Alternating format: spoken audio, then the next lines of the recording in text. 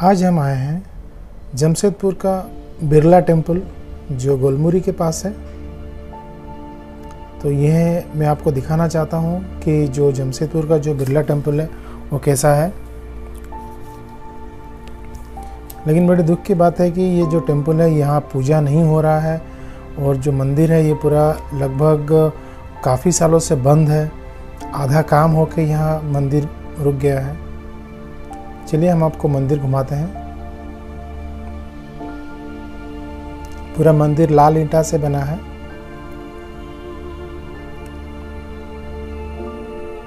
देखिए।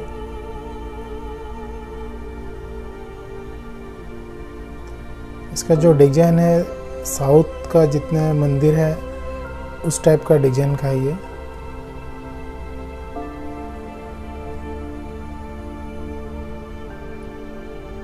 तो हम अभी मंदिर के अंदर जा रहे हैं।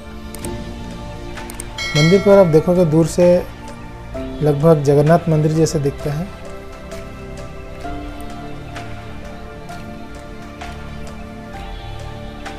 ये मंदिर का इनसाइड है, हम अंदर जा रहे हैं अभी। मंदिर के अंदर पूरा अंधेरा लगभग था। और कबूतर का तो बहुत ही वहाँ पर कबूतर का घोंसला था। लगभग मैं बोलूँगा कि बहुत करीब हज़ारों कबूतर होंगे अंदर। ये मंदिर के अंदर से हमने कुछ वीडियो करने की कोशिश की देखिए कितना अंधेरा है। तो फिर ऐसे हम फिर मतलब मंदिर के हम बाहर आए। बाहर आने के बाद मतलब जैसे लगा कि हमने कोई अंधेरा गुफा से बाहर आ गए। ऐसे लग रहा था।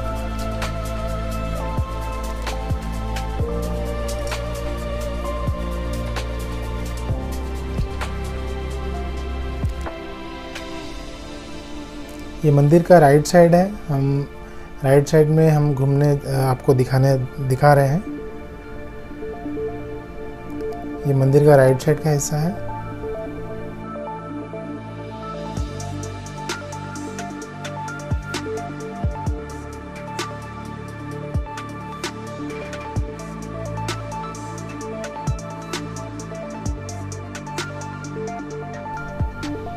ये मंदिर का जो बाउंड्री आप देख पा रहे होंगे, काफ़ी बड़ा एरिया में ये मंदिर है। वहाँ तो कोई थे नहीं कि हम मंदिर के बारे में किसको पूछताछ करते।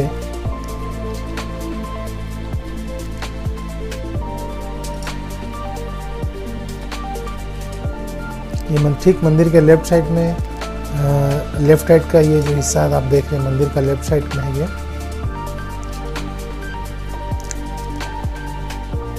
देखिए कि मंदिर का जो ऊंचाई है कितना हाइट है देखिए। काफ़ी हाइट था।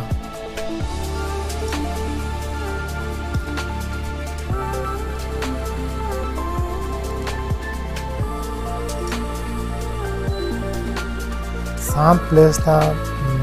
और ये बता दूँ, मंदिर में वहाँ पर अंडरग्राउंड भी है, नीचे।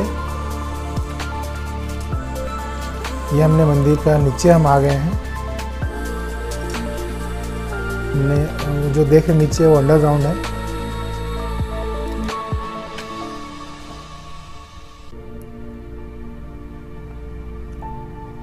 ठीक मंदिर के राइट साइड नीचे में ये एक मंदिर है छोटा सा मंदिर है। लेकिन कोई सा भी मंदिर में भगवान का मूर्ति नहीं है, ना कोई फ़ोटो है। मंदिर आधा बन के रुक गया है और लगभग फिनिशिंग काम कुछ भी हुआ नहीं है। प्लास्टर का काम भी कुछ हुआ नहीं है। लेकिन जो भी जो भी हुए हैं, काफ़ी फिनिशिंग था, बहुत ही फिनिशिंग था। ये देखिए। कितना सुंदर सा डिज़ाइन बना हुआ है, लेकिन वो पेंट हुआ नहीं है कलरिंग नहीं हुआ है। फिर हम जा रहे हैं जो मंदिर का लेफ़्ट साइड में जो छोटा सा मंदिर है, वहाँ पर हम आप जा रहे हैं आपको दिखाने।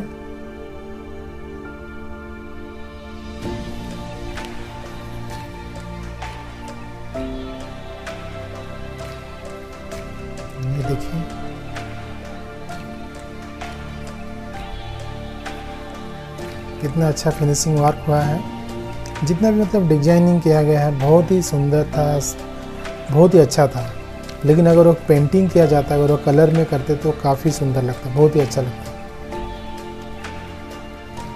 ये देखिए मंदिर कैसे दिख रहा है दूर से। लेकिन बड़े दुख की बात है कि यहाँ पर कोई मंदिर अनडेवलपमेंट होकर रुक गया। फिर हमको मालूम पड़ा कि जो जो मंदिर के सामने कुछ घर है, कुछ कॉलोनी है, उन कॉलोनी में कोई है, हम किससे बात करके मंदिर के बारे में कोई जानकारी ले सकते हैं। जैसे कि पाँच बज गया वहाँ पर तो कुछ बच्चे लोग वहाँ पर खेलने आ गए थे। आप देख पा रहे होंगे। जब वो हम मंदिर को गए थे, चार बजे गए थे घूमने के लिए, वीडियो करने के लिए। बहुत ही शांत प्लेस है, काफ़ी ठंडा भी था तो इसलिए बच्चे लोग आके वहाँ पर बैठ रहे थे, टाइम पास कर रहे थे। लेकिन अकेले जाना आ, मुझे लगता अनसेफ लगा। देखिए मंदिर दूर से कितना अच्छा दिख रहा है। Just like Puri temple Jagannath Puri मंदिर जैसे कुछ इसका नज़ारा उसी प्रकार का है। तो अभी हम जाएँगे जो मेरा नेक्स्ट वीडियो है वहाँ पर हम जो इस मंदिर के पास जो कॉलोनी है हम उस कॉलोनी से एक सीनियर के हमारा बात हुआ हम उनसे कुछ मंदिर का ज़्यादा जानकारी लेंगे okay thank you all the best and bye bye